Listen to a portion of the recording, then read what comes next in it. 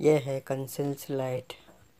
तो आइए सिर्फ़ दो मिनट में सीखते हैं कंसिल्स लाइट को ठीक करना। ये हमने इसका ढक्कन ओपन करा। ये सर्किट प्लेट निकाली, जो हुक से हैं, शॉर्ट है अंदर से।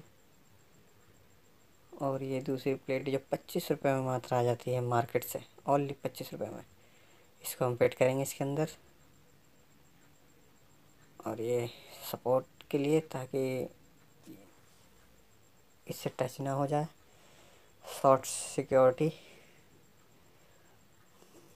और ये हमने इसके अंदर लगाना है पेपर